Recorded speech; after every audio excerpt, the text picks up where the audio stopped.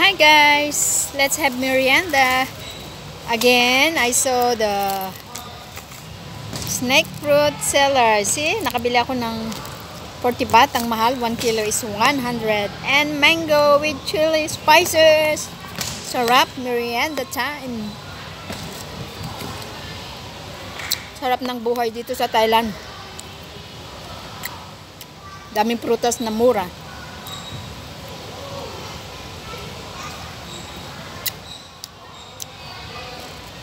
Mangga.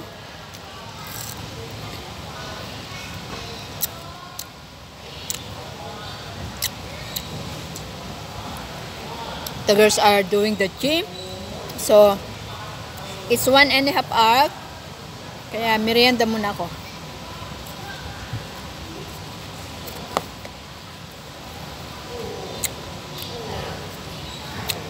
Hangin. Yes. You want? Tinatawag ako. Malalaki this time pero medyo over na oh. Medyo nagdra-dry na. Oh, dalawa to. May kambal siya oh.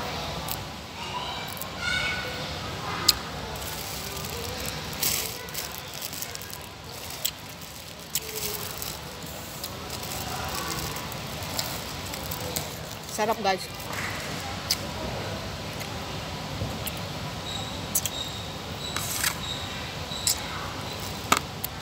Sarap. Kunin ko yung bale tandan ko nga nagawir ijay anak ni Aji Britis nga may isa nga kadwada. Si may mga kambal oh, na maliit. Sarap.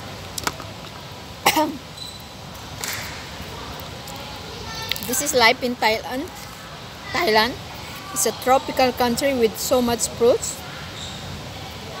Um, cheap and mura and very nice. That's why I love Thailand. It's a tropical country with tropical fruits and many fruits with cheap fruits and vegetable. Sarap ng mangga nila, malalaki dito.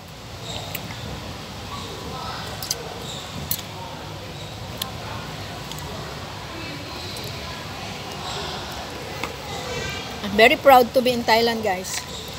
Because of the cheap fruits. This is the only place where I tasted all kinds of fruits here that I haven't tried in Philippines. So it's only in Thailand that I, I, I was able to taste them. That's why Thailand is a tourist spot for all expats. Daming mga expat dito. Kalat, kalat. Dami nila dito, especially mga friends, like my boss. There's no seed, this one. Uh, kumbaga, narunot. Mmm. Yummy. Sarap ang buhay. May chili na siya, kaya lang medyo sumamit, kasla dabitchin na.